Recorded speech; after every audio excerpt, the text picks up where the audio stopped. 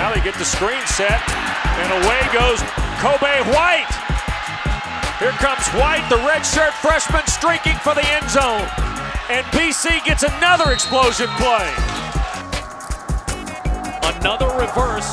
This is the former quarterback, Jeff Smith. Open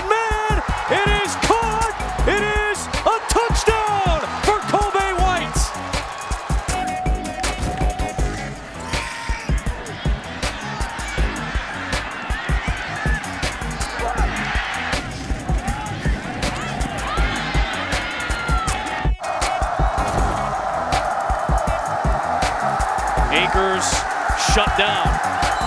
Lamot was there, so are the rest of them. Quarterback, the freshman from Dallas. And off the hands of Dubois. And John Lamot,